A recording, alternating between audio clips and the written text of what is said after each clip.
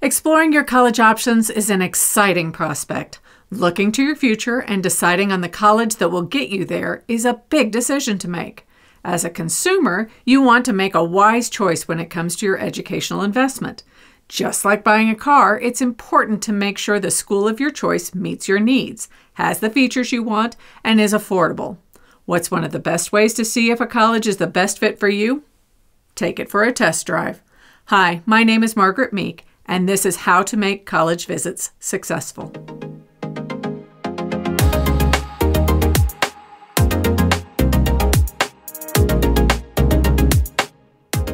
You have done your homework to find some schools that have the program or major that you are interested in.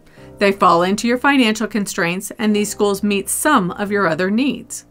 While a school might check the boxes that are important to you, you also want to know that the school has the right feel for you. Feeling comfortable and secure on a campus and in how it supports you as a learner often translates into long term success in your education.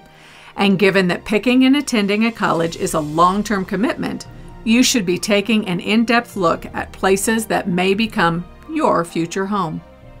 The fact of the matter is that colleges want you to come visit. They want to show off their campus and all its amenities, facilities, and services. And they want you to make an informed decision about which campus suits you best. Right now, campuses are increasing the virtual access to campus on their website. A walking tour of the campus is available with some frequently asked questions being addressed. While this may not give you a feeling as to how comfortable you will be on campus, the tours do offer a chance to see the entire campus without any cost involved. You can review the videos and replay them as you decide if there is something about that campus that attracts you or makes you have second thoughts. As you watch the video, take notes on questions you have or as entries into your pro con list related to that campus.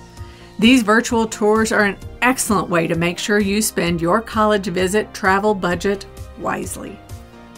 When we talk about in person visits, we want to caution that if you want access to campus buildings, the admissions office, and having a chance to ask questions of the financial aid staff, you should contact the admissions office to schedule your visit.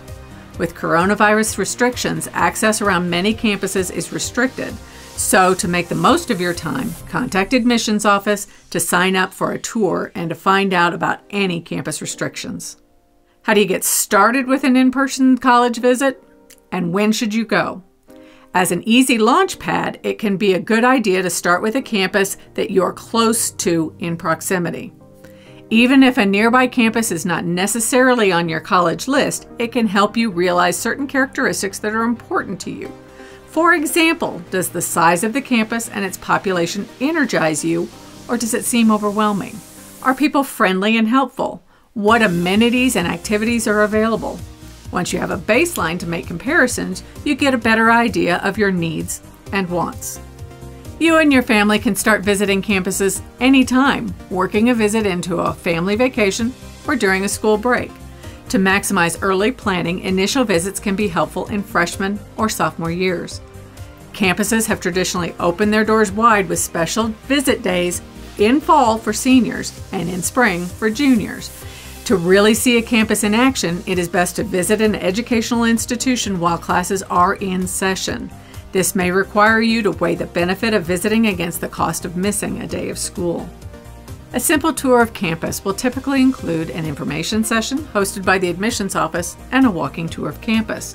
Or you may be able to register for a more comprehensive event, which will include information from admissions, financial aid, possibly professors, and or a panel of students and often includes lunch where students dine. Many colleges also hold events that highlight certain programs like engineering, nursing, business, or events for certain populations. When traveling to an out of state college or university, be sure to check with the admissions office to see if they provide any support for your visit, such as lodging recommendations or discounts, and possibly even transportation. As mentioned previously, getting the most out of your visit means that in addition to soaking up the atmosphere, you should be exploring and asking questions. Come prepared and investigate what schools have to offer. Some common questions include asking about admissions requirements, class sizes, financial aid and scholarship opportunities, retention and employment rates, dorm and dining options, recreation and support services, study abroad research and internship opportunities, disabilities and accommodation supports, to name a few. While having a list is helpful, please do your best to listen to your instincts and your intuition as to whether a campus suits you. A number of lists of questions that could be asked on a campus tour are presented on our website. These questions will allow you a chance to think through your own list of information you wish to collect on your tours. Lastly, remember that it is best to have multiple colleges to choose from.